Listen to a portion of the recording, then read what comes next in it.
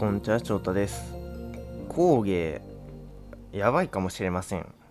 あのですね、えー工芸ですね、各挙兵とまあ似たような感じで、味方がですね、えースキルを打ったタイミングで攻撃をしていくっていう風なキャラクターだと思っていたんですけど、まあ、各挙兵見せても大丈夫かな。えー各挙兵はですね、えーっと、このパッシブ4のところですね、えーこちらが、えー毎回スキル発動終了後ですね、えー味方が、えー毎回スキル発動終了後、バナーに残り HP パーセンテージが50%より低い敵がいると、このキャラクターが追加攻撃していくっていう風なものになっているんですけど、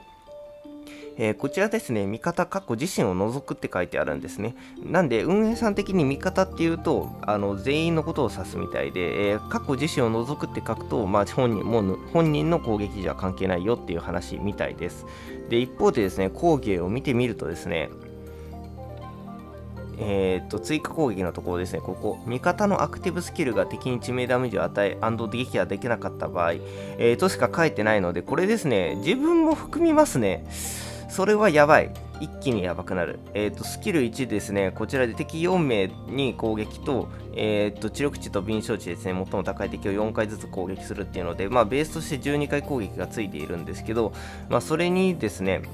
えー致命ダメージ無視なり復活させるたびにですね、えー追加攻撃が乗るっていうところで、まあ、普通にめちゃめちゃ攻撃できますね。まあ、12回なんで最大、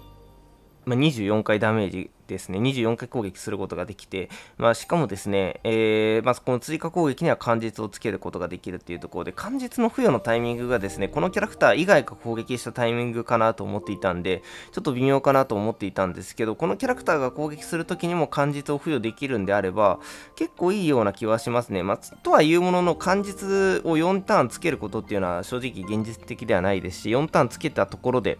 えーめちゃめちゃ強いかって言われると、そういうわけでもないところは あの正直あるんで、ね命中率、まあ、40%命中率下げたら、まあ、回避はできると思いますけど、まあ、必中キャラクターとかには無意味だと思いますし、っていうところは感じるので、えーまあ、めちゃめちゃ強いかって言われるとそうではないんですけど、この追加攻撃ですね、自分が攻撃するタイミングも打てるっていうところがめちゃめちゃ強力かなというふうに思いましたので、えーちょっとここでですね、話しておこうかなと思います。えーまあ、こちらの詳しい動画はですね、また明日ですね、上げようかなというふうに思っているので、えーまた見てもらえると嬉しいです。いや、これは、うん、ちょっとなおさら欲しくなってきたな。私結構弓章の変なキャラクター好きなんで あの、私の趣味もあるんですけど、いや、これは強い。うん、はい。えめちゃめちゃ強力だなというふうに思いますいました。えーこれで今回の動画は以上にしようと思います。えーこれからも放置少女の動画を上げていくので、メンバーシップの登録、X のフォロー、高評価、チャンネル登録、スーパーサンクスよろしくお願いいたします。